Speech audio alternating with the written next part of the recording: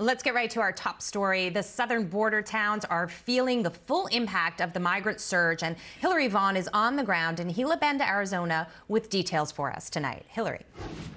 Jackie Gila Bend's Mayor Chris Riggs tells me tonight he will be declaring a state of emergency for a crisis that he says President Biden has created in his town by dropping off busloads of migrants after Border Patrol held them for the max 72 hours. They're being dumped here with nowhere to go and nothing to eat. The mayor tells me that the federal government chose Gila Bend, a small town of about 2,000, because they thought they had a bus stop.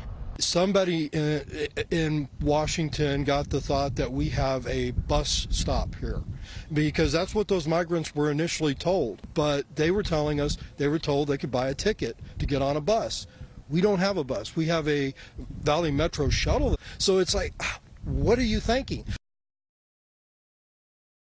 The mayor tells me that they do not have the resources to care for these migrants, so he had to borrow two to take them an hour away to a shelter in Phoenix. It's not just the resources that are a concern, it's also COVID. These migrants are not being COVID tested before being dropped off here, and the mayor says he calculated if two busloads of migrants get dropped off every week, over the next year to pay for COVID testing. That's going to cost him $600,000, and that is over a third of the city's budget for the entire year. Jackie? Hillary Vaughn for us in Arizona tonight.